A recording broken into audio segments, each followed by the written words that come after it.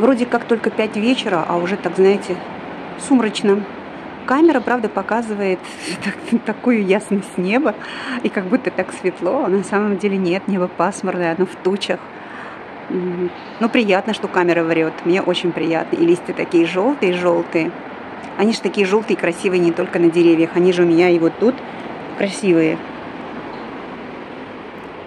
Вот, так я, собственно, и вышла на дело. Буду сейчас убирать во дворике. Быстренько хочу пробежаться. У меня там пока один помощник по дому бегает. Вот, я вам там снимала мотивацию, шкаф разгребала. И включила его, пока он бегает, а я думаю, давай-ка я выйду здесь поубираю, заодно и вам поснимаю. И поприветствую. Скорее всего, это будет новый влог, поэтому всем привет. Всем отличного дня, прекраснейшего настроения. А мы с вами за работу.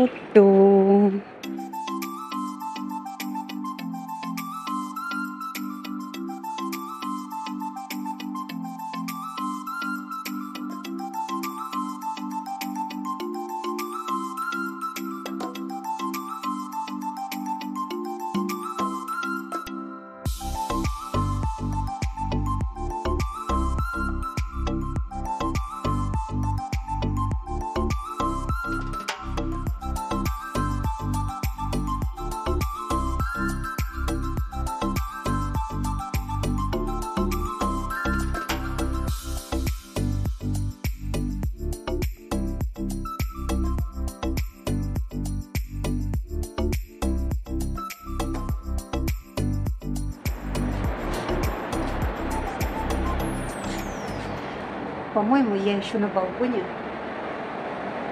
вечером мотивацию не проводила.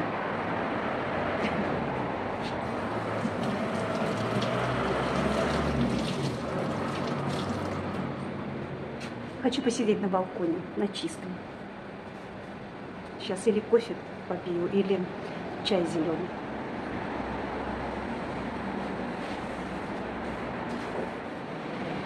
Я не буду утверждать, что я не устала. Я, конечно, устала. Сейчас был анекдот. Я как раз заканчивала вот это расхламление шкафа. Если что, то это у меня в прошлом ролике. Расхламление шкафа. Я заканчивала уже уборку там, и так стук такой в дверь. А я ждала как раз девочку, которая должна была прийти взять этот мешок с вещами, который я расхламила. Я там погорячилась, по-моему, поднимается ветер. Поднимается ветер. Это Баку. Вот полчаса назад его не было. Сейчас поднимается ветер. Ну вот, да, стук такой в дверь. И я так быстро, я так быстро подбегаю, открываю, но думаю, это, наверное, она. И вдруг я открываю дверь, и так стоит это старший сын Жанеты. И, значит, я открываю, он так, Санту вызывали, и я говорю, для Санты как бы рано. Рановато Санта пришел. И он, знаете что, он, э, ну, достаточно за долгое время до праздника, до новогоднего праздника. Я такая, да, какая-то такая вся побитая. Я устала. Простите, пожалуйста. Да. Вот, он, значит, э, разносит по подругам своей мамы, э, ну и по своим подругам тоже, разносит э, кулечек такой, а в кулечке у него магнитики. И мы должны закрытыми глазами выбрать магнитик, а на магнитиках всегда бывает э, какое-то слово написано. Вот, что я, и мы вытягиваем, то есть, ну раз что вытянули, то и получили. Кто-то благополучие, кто-то удачу, кто-то деньги, кто-то здоровье. Вот. А что я вытянула в этом году? Я вытянула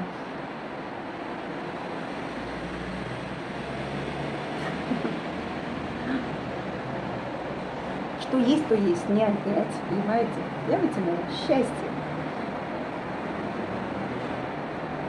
В прошлом году я вытянула, не помню что, надо посмотреть в магнитиках, но у меня, как все магнитики, дидер.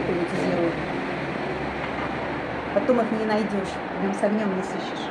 Любые, любые магнитики, которые попадают на мой холодильник, они потом оказываются в итоге либо под холодильником, либо сегодня я, когда убирала, эм, там расхламляла в спальне шкафы и убирала за кроватью, я там повытягивала игрушки, ну как они туда могли попасть. Вот они туда ну никак не могли попасть. Но вот Дидя постаралась. Она молодец, у нее получается. У меня чай фенхелевый, такой ароматный, ароматная свеча. Я сейчас посижу, отдохну с полчасика и пойду на ходьбу вечернюю. И полтора-два часа буду ходить. Ну а потом, как обычно, я душ, масочки, кремики, все как я люблю. И потом такая, без задних ног, ложишься и настраиваешь себя на новый день, следующий день. Дай Бог нам всем войти в следующий день. Мне одна моя подписчица, Афет Мамедова, она написала такую хорошую фразу.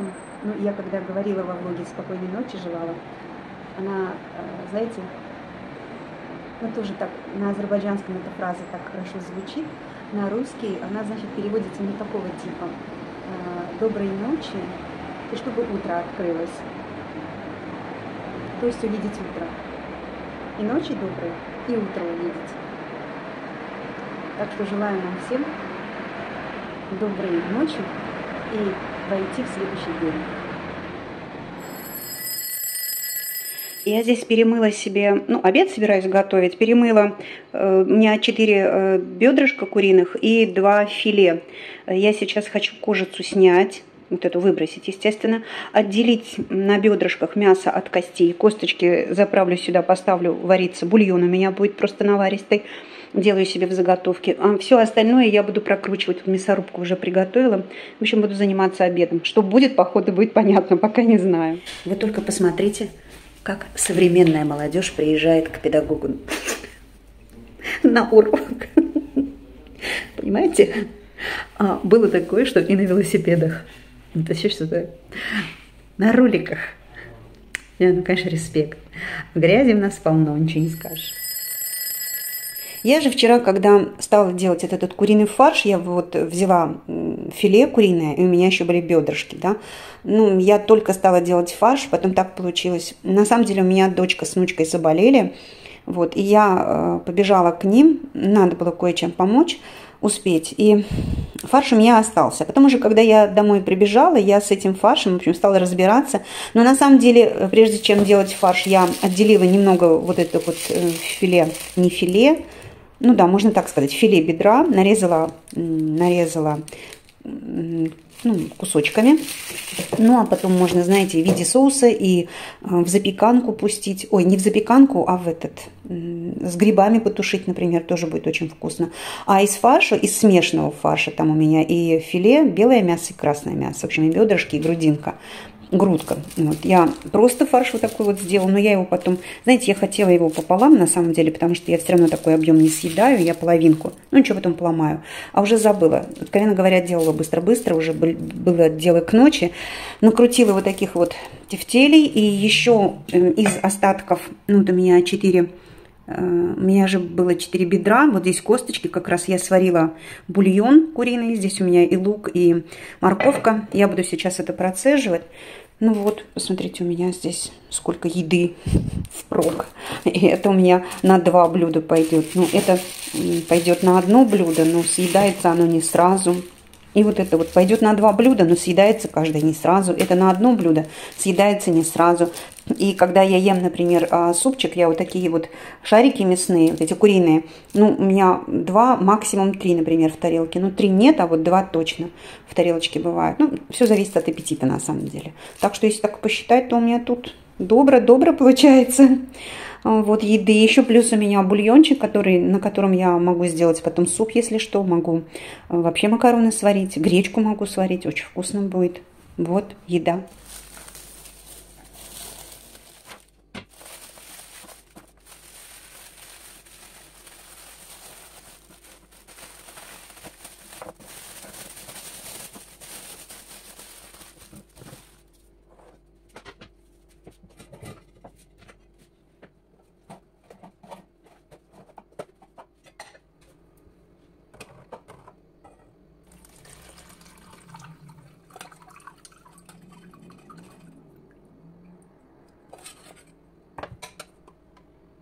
Бульон, ты знаете, зачем такой темный? А потому что лук у меня был там фиолетовый, а бульон получился темный. Ну, это же не страшно. Ничего тут такого нету. Все. Тоже отправляется в заморозки. А это я вынесу кошкам. Там у нас возле мусорки периодически они обитают. Вот. Еды, слава богу, полно. Когда есть мясное, значит у тебя есть еда, правда? Вот у вас э, такое отношение? Вот у меня лично так. Если я знаю, что у меня в морозильнике есть что-то мясное, значит я знаю, что у меня есть еда. Правда. Я вообще на самом деле мясоед. Я, скажу вам откровенно, я соскучилась по, по мясу телятины. Я потихонечку начну все-таки вводить в рацион мясо телятины, ну, коровья. Я буду это отваривать в основном. Или, ну, максимум тушить. Максимум тушить, а так потихонечку нужно водить. Но без мяса мне трудно. Я не знаю, как люди вот живут только на овощах, я понятия не имею, правда. Как можно жить просто на овощах? Девочки, вот скажите, вы как? Вы вообще можете продержаться? Ну, ладно, день я тоже могу продержаться на овощах, а вот больше, чем больше одного дня можете? У меня вот эта вот досточка, она хоть и хорошая, вот эта фирма Лимон очень хорошая фирма, но я на ней сейчас уже, знаете, вот замораживаю. В основном у меня, они у меня идут в морозильник, когда я делаю заморозки. Так видите уже в каком состоянии она. Ну, не отмывается. Я что только не пробовала, но уже ничего, уже все. Вот, хотела узнать, какое у вас отношение к мясу? Ну вот, можете вы продержаться без мяса больше одного дня? Я один день могу. На второй день я уже буду чувствовать, что чего-то не хватает. У меня мама тоже такая была. Она когда не ела мясо, ее трясло. Это потом она уже с возрастом как-то так, но а так она мясные блюда прям поглощала только так. И папа у меня мясоедом был. Папа тоже вот мясное всегда должно быть. Мне кажется, вообще для людей Кавказа, это вот для восточных людей, мясо в рационе, в рационе это в приоритете. Правда? Мне так кажется почему-то. Что я делаю? Что я делаю? У меня сейчас э, рыбка, филе этот, э, стейк э, семги в духовке. Я готовлю себе обед, потом буду работать. Потом, наверное, вечерком пойду к дочери. Диди у нас, внучка моя, она, знаете как, вот в садик выйдет, неделю буквально походит, ну, не знаю, дня 3-4. Домой приносит какую-нибудь заразу. Сама болеет, потом у меня вот дочка, дочка же больше в контакте бывает с ней, да, то есть постоянно с ней в контакте. И э, она тут же подхватывает. Иммунитет, вот я не знаю, прям иммунитет очень слабый. Она тут же подхватывает у нее все эти вирусы и тоже начинает заболевать. Вот. Ну вот так. Все. Получается так, ребенок у нас э, неделю-полторы недели дома приходит в себя, потом 3-4 дня в садике, потом опять неделю-полторы недели дома, потом опять это, в общем, ну, вы поняли мою арифметику, вот, и я у дочери тоже спрашиваю, я говорю, Кам, слушай, ну, подожди, а другие дети как? Она говорит, мам, вот все дети так, там так, чихают, кашляют им. И у меня, например, а, среди учеников, ну, очень много болеющих. Вот очень много. У меня есть такие дети, которые, ну, просто вот, я не знаю, как-то не вылазит из этого состояния. Родители уже просто разводят руками, вроде говорят, и все обследовали, уже все посмотрели, а, анализы все поздавали, но все равно, говорит, непонятно, температура держится и все. Что за вирус такой сейчас их так м- сломил? Очень многие дети, вот просто очень. Если у ребенка еще хоть как-то э, иммунитет более-менее, да, то есть он такой, он может бороться с этим вирусом, то дети как-то быстро выходят из этого, из этого состояния. Если иммунитет ослаблен, то дети все, очень долго болеют. Я даже так удивляюсь. Я вот с родителями говорю, да что ж, родителями их разговариваю, говорю, да что ж такое? Ну почему ребенок так долго болеет? Да что же это за зараза такая вот прицепилась? Вот они мне говорят, вот вы поверите, не знаем. Вот уже и то сдали, и это сдали, и все сдали. Вроде показатели нормальные, вроде все нормально, а вот у ребенка температура, а вот ребенок сопливит, а у ребенка вот кашляет, и вроде и с бронхами все нормально, и с легкими все нормально. И, и на гайморит проверяли, и на все проверяли. А что такое, как, чего? А? Что у нас летает в воздухе? Скажите, пожалуйста. Я так немножко просто такая как более менее спокойная, потому что у меня как бы в августе месяце я переболела этой какашкой очередной. И в очередной раз, во второй раз. И как-то так я сижу, считаю, так, август, сентябрь, октябрь, ноябрь, декабрь, январь. Ага, так, у меня вроде как 6 месяцев, вроде как законно 6 месяцев у нас есть иммунитет, но думаю, наверное, меня это как-нибудь спасет, хотя бы этот иммунитет. Антитела у меня есть, наверное, спасет. Вот не знаю. Вот честное слово, не знаю, это вот это бич современный, вот этот вот Ой, у нас солнышко. У нас, знаете, пробивается солнце. Сейчас идемте на улицу. Вы какое солнце. Смотрите, в окошко, видите?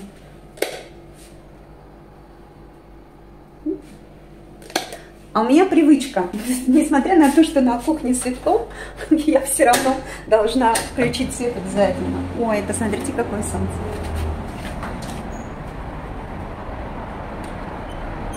Что-то за запах вроде должно быть все нормально.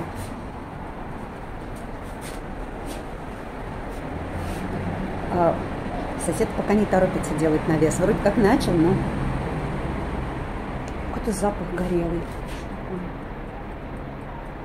Я думала, это у меня горит. Нет, у меня все нормально. Зато у меня, как всегда, белье. А цветочки крепчают, крепчают, растут новые листики, и это крепчает, хорошо. Все, пошли уже вот, вот, вот, вот, вот, вот, вот, вот такая новая жизнь. Тут уже все хорошо, все отлично. Вот. И там у меня все отлично, видите, все как обычно. Соседское дерево старается вовсю, вовсю старается, чтобы я не расслаблялась. А что же я дома буду? Вот смотрите, у меня та часть, она а, такая спокойная. Сейчас уже так ветки, э, иголки не падают сосен, не с такой большой скоростью.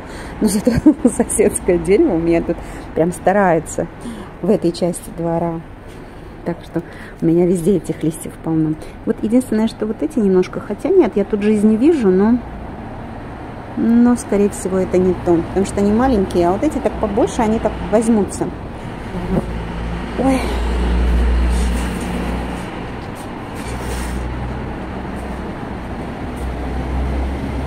Ой, хорошо как. Хорошо? Да хорошо. Да ничего хорошего. Откуда-то все-таки идет дым. Какая-то задымленность странная. И запах такой горелого что-то есть. Я не знаю, там, я надеюсь, никто не горит.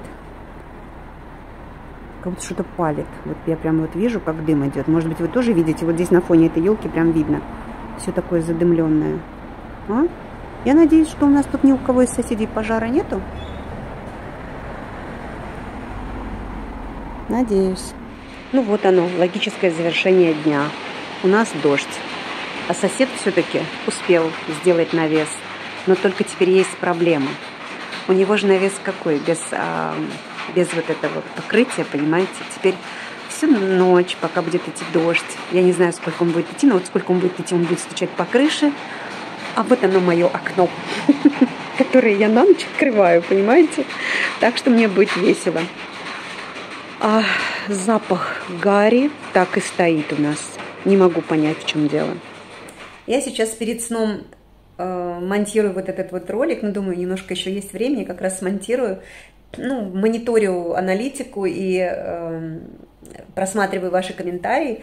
И мне сейчас прилетает один комментарий, значит, Э, мне сделали комплимент по поводу того, что у меня нет акцента азербайджанского. А я пишу, что азербайджанского акцента нет, зато бакинский периодически пролетает. И меня спрашивают, а в смысле, а разве это не одно и то же? Я говорю, нет, это не одно и то же, я во влоге это объясню. Э, знаете, что такое бакинский говор, бакинский акцент? Это вот так. Идем, да. Ну, говори, да. Э, ну, сколько можно? Знаете, есть такой анекдот, как чирикает бакинский воробей. Чирик, да,